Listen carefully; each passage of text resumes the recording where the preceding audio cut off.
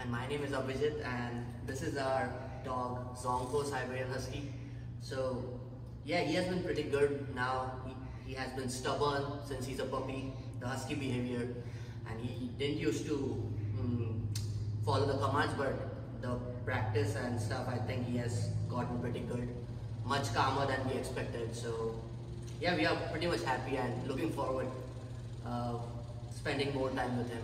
So and the trainer who trained him was Abigail, so she was really great with him, and we got all kinds of videos and all the updates every day, and um, everything just looks good. And we just had our session with him, and he looks like he's learned a lot, so we're pretty happy.